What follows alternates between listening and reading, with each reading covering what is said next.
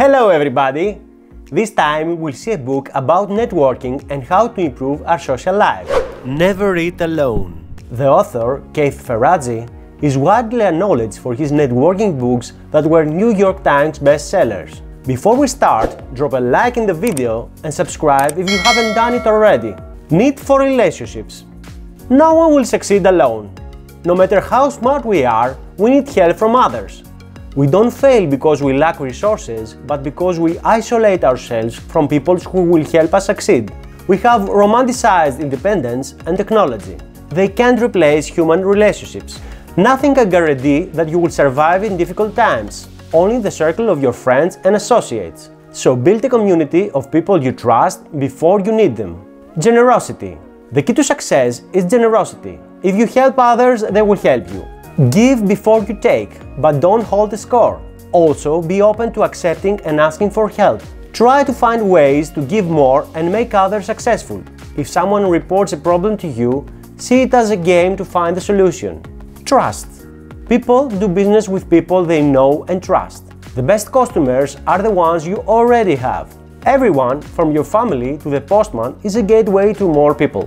Trust is a marathon. It is slowly be gained by providing value and being reliable, kind and respectful.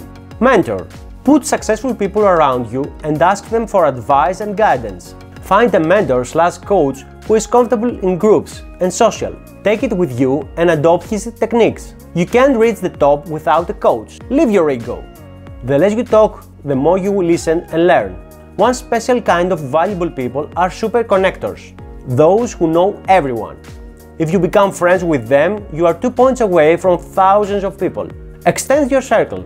It is valuable to talk to strangers and expose yourself to new experiences. Situations with a lot of people can make you feel uncomfortable, but it helps you make more friends. Small talk is the most important type of speech. Extend your circle. Join it with someone else's. The boundaries are fluid. When someone introduces you to a new person, acknowledge it. Don't give anyone free access to all your contacts. There must be reciprocity. You have 10 seconds to make the first impression, mainly non-verbally. Don't be distant and show what you want to offer. Keep eye contact with relaxed arm and shoulders. Show interest, make them feel special and understand their point of view. Find common interest and mirror his body language to create rapport. Don't interrupt him when he talks and say his name during the conversation. This will help you also to remember it later. Prepare to meet. If you are going to meet someone, learn about his business, hobbies, challenges, achievements, beliefs, and what is his passion. Warming up a cold phone. Mention a person you know. Having a mutual friend make you stand out from an anonymous one. Look in your social circle to find a person who will lead you to him. Express the value you offer. Show urgency and express the willingness to do what is necessary to meet the other. Accept any compromise to have at least a minimum follow-up. It doesn't matter only who you meet, but also where and how the encounter takes place. If you meet someone in the first class on the plane, they will consider you important, while if you meet him in a networking event, they will consider you desperate. It is also important what you do together rather than how often you meet. Prefer pleasurable activities, common passion, food and exercise. Make a list of activities you are passionate about and get people involved. You can also find one or two restaurants that you will like and go regularly. Meet the staff and owner and make it your home. Close with a specific follow-up proposal. Don't say, I hope to see you soon. The purpose of the phone is to meet face to face. Gatherings. Keep your social diary full and don't lose contact with friends and people you meet. If you can't manage to see them all, arrange gatherings where you can invite lots of them. The best opportunity to build a relationship is around food. Don't invite always the same people but include some new who you want to enter in your circle. Pay attention to the chemistry between individuals.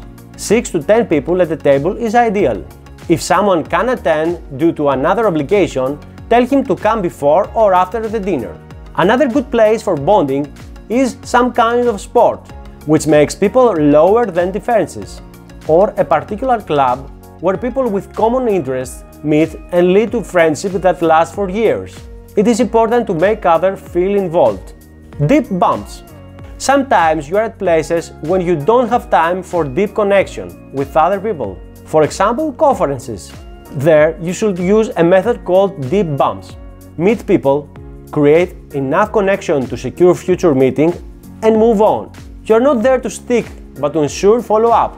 In two minutes, look into each other's eyes, pay attention to what they say, ask questions that are beyond work, and show a part of yourself vulnerability. Keep notes about the person you meet, what you've talked about, and how you plan to meet them in the future. Follow up.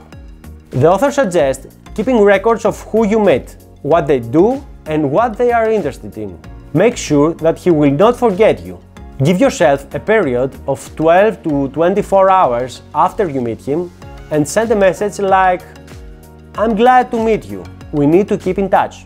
You can also mention something you talked about when you met, so he will have a mental reminder of who you are.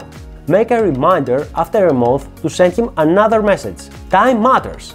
You must do that as soon as you can after the meeting. Make it a habit to follow up. Ping. 80% of relationships are just about keeping in touch. You can do that by making social pings. This concept is metaphorically rooted in the sonar used in submarines. A sonar ping is sent out and the operator listens for the echo return response to identify where the submarine is positioned in relation to surrounding objects. A social ping is any kind of communication which we use to get a social response or to keep a social bond. Make a thousand of phone calls just to say hello. For maintaining or developing a relationship, ping once a month. For close relationships, make one to two meetings a month. For secondary contacts, make 2 to 3 pings a year. Avoid pings on holidays, when everyone does. Organize your contacts by importance, geography or industry and ping at every possible opportunity. The philosophy of the message. It's been a long time since we last met. I missed you. I consider you important. Relationships are like muscles. The stronger you work on them, the stronger they become. There is never an end in that procedure. My opinion about this book. Some suggestions that the author makes make sounds robotic and manipulative, but the main idea of the book is not to use techniques to fake your behavior in order to gain privileges. The goal is to organize your social life, provide more value to people around you, and create long-term relationships based on trust. Most social savvy people do those things naturally. My total rating of the book is 4 stars. I hope you find the video useful and I'm looking forward to seeing you in the next one. Thank you.